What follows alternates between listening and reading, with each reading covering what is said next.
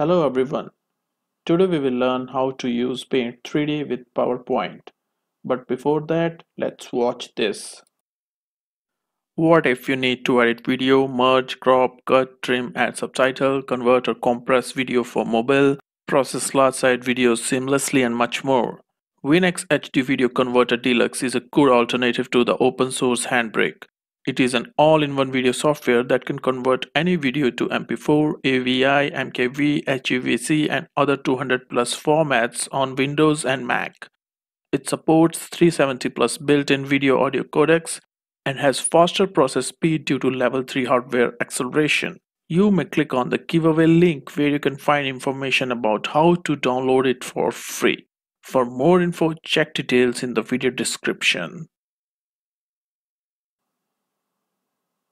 So this is the output. This is the PowerPoint template that we have created.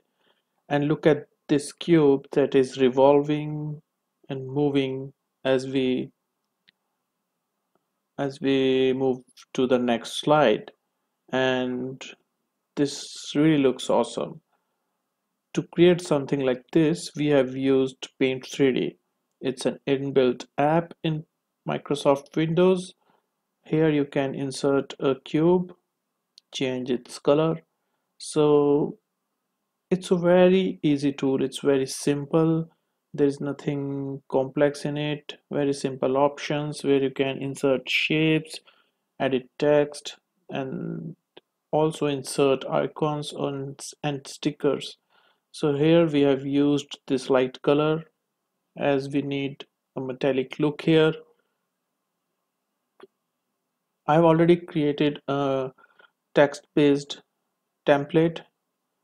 Now I have just pasted the cube in my PowerPoint slide from Paint 3D to ensure that it looks good. Now we will add some icons in it.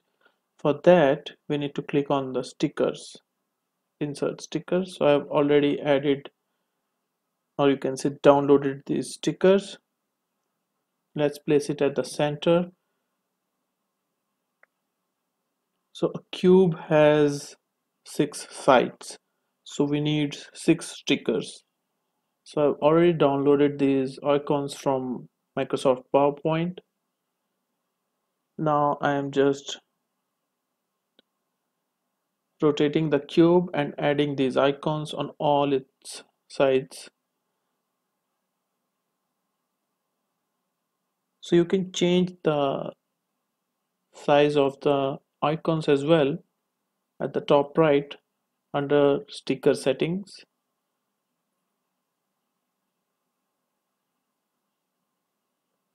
So paint 3d is free. It's there on the it's there in your Microsoft Windows. You just need to search paint 3d and it's there. So it's a very useful tool and in Microsoft PowerPoint. We can insert 3D objects as well. Because PowerPoint the latest PowerPoint version that I'm talking about is Office 365 PowerPoint. It supports 3D shapes and 3D format shapes. So what we are doing is we are designing a 3D shape in paint 3D and then we will copy and paste that shape in the Microsoft PowerPoint. So now you can see uh, I have added icons on all its side except these two sides.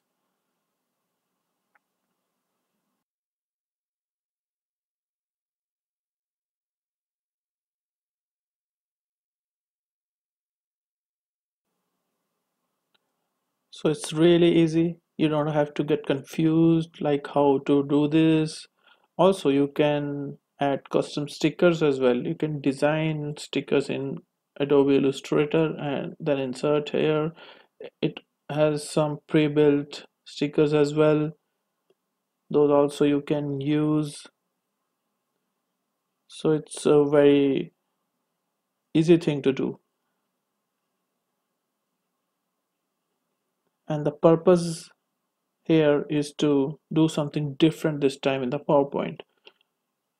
Also, the 3D object when inserted in the PowerPoint slide and then you copy it on all the slides and rotate it on each of the slide then apply morph transition then you will see the magic and that's what and that is what we are trying to teach here in this video so once we have all the icons settled here we will insert this cube in our PowerPoint slide.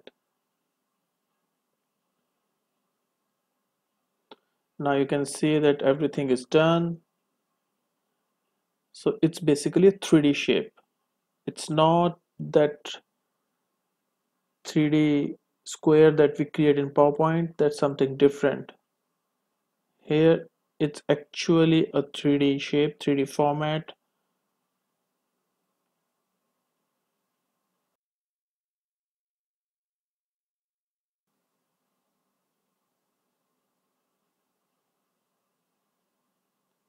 So I'm just here figuring out like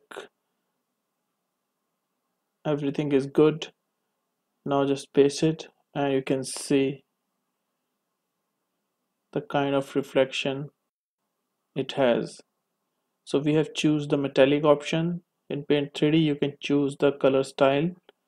It has like gloss matte then metallic. So these kinds these kinds of options here. So this is the cover slide like I have created. Here you can place it like this. Then on the next slide you need to copy it paste and showcase the first item here like this this icon and write your process or information that you want to showcase. It could be some facts or stats or anything you want to showcase. So it's a very simple and plain template because I wanted to keep it very minimal so that the focus is on the text and this cube only because here the purpose is to help you understand how it works. That's why I tried to keep it simple and it looks really nice. This metallic color is coming out really nice in the white background. You can also create it in the dark background or you can create something more colorful. It's totally up to you how you want to take it. And and you must try these 3d options. If you have office 365 i'm not sure if the previous versions of powerpoint allow 3D objects but if you have the latest version try it. And in paint in paint 3d you can design lots of 3d shapes it's not the cube only. There you can design lots of options of course the options are very limited in paint 3d because it's a very basic tool but yeah it serves the purpose very well.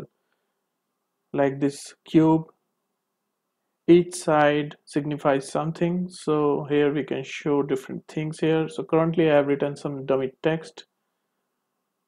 Also you will notice this time I have used different text styles on each slide.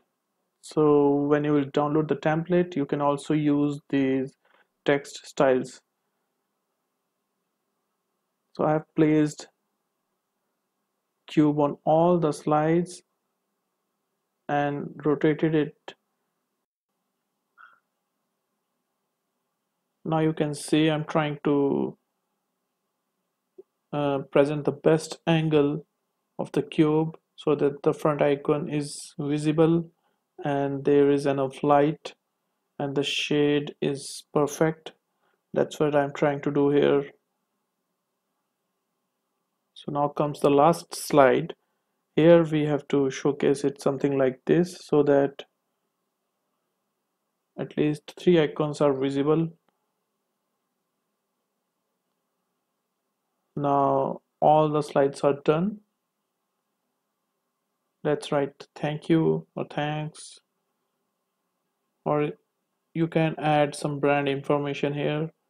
So this is just a plain template. You can add your contact info your logo and all those things here. And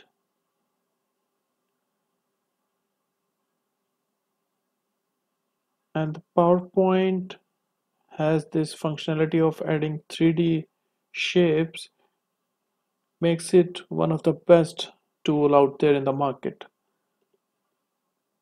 I'm not sure if you ever tried using 3D shapes in PowerPoint but this is really a good concept. You must try it. I'm not sure if there are online sites where you can download 3D shapes for free or even 3D animated shapes or uh, 3D rigged models so you can also try those in PowerPoint. So once you have added cube on all the slides you may you have to make sure that all the items are ungrouped because for the morph transition to work beautifully you need to ungroup all the items.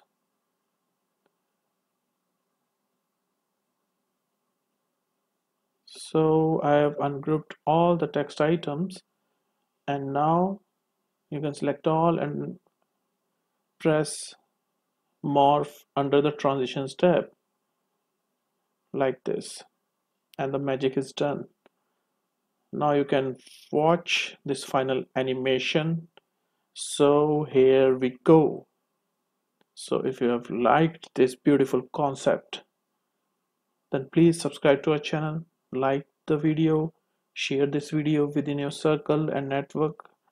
And also you can join the membership. There is a red join button if you are logged in on youtube.